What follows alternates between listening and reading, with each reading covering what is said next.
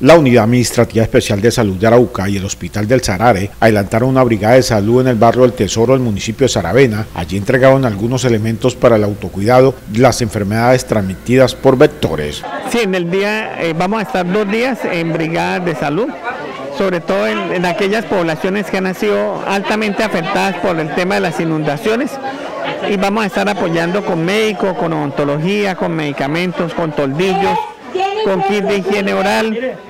Eh, esto eh, sabemos que no va a ser la solución total a, los problemas, pero sí vamos a minimizar y a prevenir, eh, sobre todo con los toldillos, la transmisión de enfermedades por zancudos, vamos a prevenir dengue, vamos a prevenir el chica, el chikungunya, ya que en esta época invernal aumentan los, los criaderos de estos zancudos y pues aumentan también las enfermedades. El director de la Unidad Administrativa Especial de Salud de Arauca, Edgar Alessandro Contreras, dijo que allí se realizaron consultas general y también de ontología. Vamos a estar prestando el servicio, como eh, comentaba, medicina general, ontología, entrega kit de higiene oral, entrega medicamentos, entrega de toldillos y entrega multivitamínicos.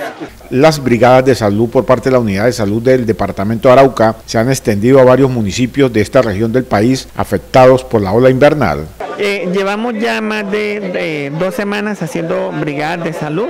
Esto en respuesta a la situación que se está presentando de ola invernal. En Arauca Capital estamos haciendo todas las semanas brigadas de salud y el del día hoy estamos en el municipio de Saravena.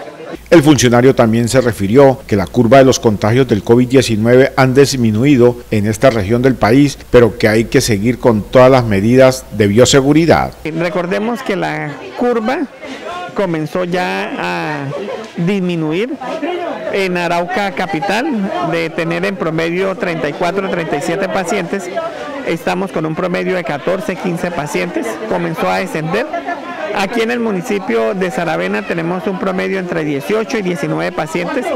Recordemos que aquí en Saravena veníamos con un promedio de 40, 44, lo que quiere decir que aquí en el municipio de Saravena también comenzó a disminuir la curva eh, del COVID-19.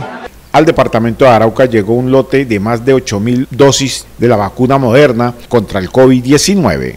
Sí, llegaron 8.200 eh, dosis de la vacuna moderna ya se están distribuyendo en los diferentes municipios. Esta vacuna pues tiene una particularidad que requiere que estén presentes más de 10 personas para poder abrir cada biológico, ya que tiene 14 eh, dosis cada ampolla, por lo tanto pues requiere eh, ser distribuida en aquellos sitios donde hay más afluencia de personal para no correr el riesgo de que se nos vayan a perder algunos biológicos. Por eso se están priorizando los municipios que tienen más alta demanda en el proceso de vacunación. Esto es algo técnico, más no es que queramos clasificar algún municipio para las vacunas de, este laboratorio Moderna. Son dos dosis, la otra repite a los 28 días.